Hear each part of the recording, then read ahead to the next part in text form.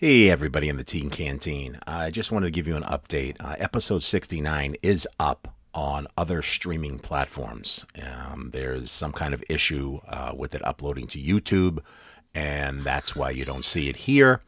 And hopefully, it will be resolved, and that episode will appear uh, before Friday, and then on Friday, another episode will be ready to go. So um, you may get two this week. At least that is my wish and hope. So I just wanted to give you an update on that. But if you want to go to Spotify, uh, let me see, Amazon, Google Podcasts, Apple Podcasts, you can find them there as well. Thanks for listening and just keep your eye on your notifications.